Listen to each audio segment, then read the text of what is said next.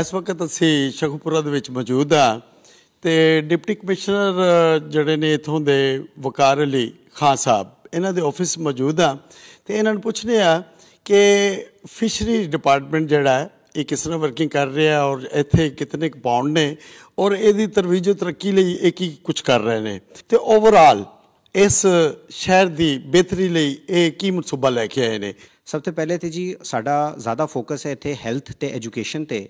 ਤੇ ਨਾਲ ਸਫ਼ਾਈ ਸੁਥਰਾਈ ਤੇ ਵੀ ਜ਼ਿਲ੍ਹੇ ਇੰਤਜ਼ਾਮੀਆਂ 24 ਘੰਟੇ ਇੱਥੇ ਮੁਤਰਕ ਹੈ। ਫਿਸ਼ਰੀਜ਼ ਦਾ ਵੀ ਇੱਥੇ ਸਾਡੇ ਜ਼ਿਲ੍ਹੇ 'ਚ ਟ੍ਰੈਂਡ ਕਾਫੀ ਹੈ ਤੇ ਉਸ ਵਿੱਚ ਵੀ ਐਗਰੀਕਲਚਰ ਜਾਂ ਜਿਹੜਾ ਮਹਿਕਮਾ ਹੈ ਸਾਡਾ, ਉਹ ਐਸੇ ਲੋਕਾਂ ਨੂੰ ਜਿਹੜਾ ਇਹ ਬਿਜ਼ਨਸ ਸ਼ੁਰੂ ਕਰਨਾ ਚਾਹੁੰਦੇ ਨੇ ਜਾਂ ਕਰ ਰਹੇ ਨੇ, ਹਰ ਤਰ੍ਹਾਂ ਦੀ ਮਦਦ ਫਰਾਮ ਕਰਨ ਵਾਸਤੇ 24 ਘੰਟੇ ਅਵੇਲੇਬਲ ਹੈ।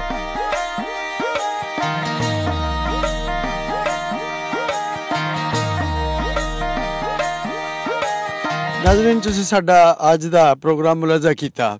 ਇਹ ਪ੍ਰੋਗਰਾਮ ਫਿਸ਼ ਫਾਰਮਿੰਗ ਦੇ ਬਾਰੇ ਸੀ ਤੇ ਅਸੀਂ ਇਹਦੇ ਵਿੱਚ ਇਹੀ ਦੇਖਿਆ ਕਿ ਜਿਹੜਾ ਮਾਹਿਰੀਨ ਫਰਮਾ ਰਹੇ ਨੇ ਕਿ ਅਗਰ ਤੁਸੀਂ ਜ਼ਿੰਮੇਦਾਰ ਹੋ ਕਾਸ਼ਕਾਰ ਹੋ, ਤੁਹਾਡੇ ਕੋਲ ਜ਼ਮੀਨ ਹੈ, ਤੇ ਪਹਿਲਾ ਕੰਮ ਇਹ ਕਰਨਾ ਹੈ ਕਿ ਮਹਿਕਮੇ ਦੇ ਨਾਲ ਰਾਬਤਾ ਕਰਨਾ ਹੈ।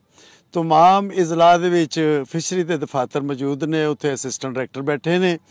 ਉਹਨਾਂ ਨੂੰ ਤੁਸੀਂ ਆਪਣੀ ਜ਼ਮੀਨ ਦਾ ਮੁਆਇਨਾ ਕਰਵਾਓ, ਜਿੱਥੇ ਤੁਹਾਡੇ ਕੋਲ ਜ਼ਮੀਨ ਪਈ ਹੈ ਤੁਸੀਂ ਉੱਥੇ ਫਾਰਮ ਬਣਾ ਕੇ ਤੇ ਆਪਣੇ ਜਿਹੜਾ ਮੁਲਕ ਹੈ ਇਹਦੇ ਵਿੱਚ ਜਿਹੜੀ ਪ੍ਰੋਟੀਨ ਦੀ ਕਮੀ ਹੈ ਇਹਨੂੰ ਪੂਰਾ ਕਰੋਗੇ।